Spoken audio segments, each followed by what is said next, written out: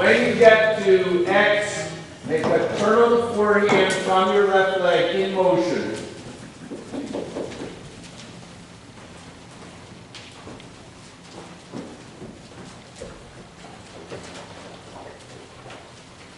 And drop.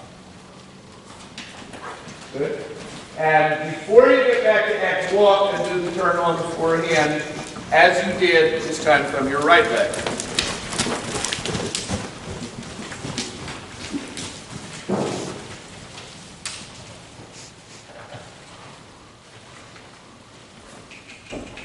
Try.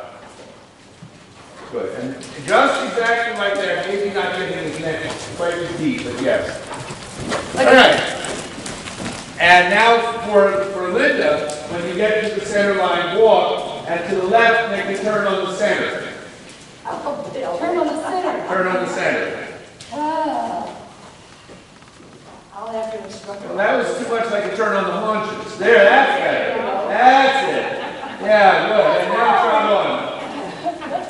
Yeah.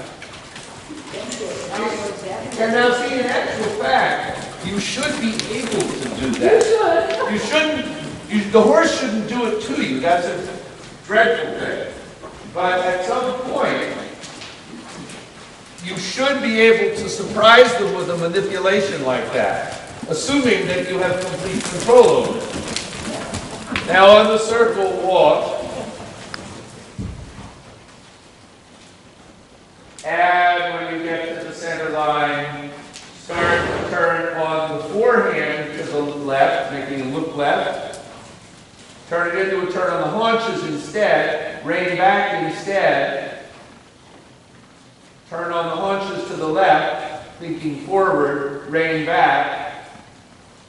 Turn on the forehand to the left, and trot away now.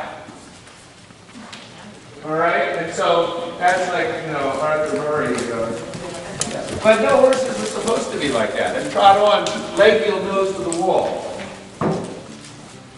Find that most people would have trouble doing what you just did, and most horses. Not, not most real ones, but most. And it's, it's a good indication of how real things are versus how much tricks have been learned.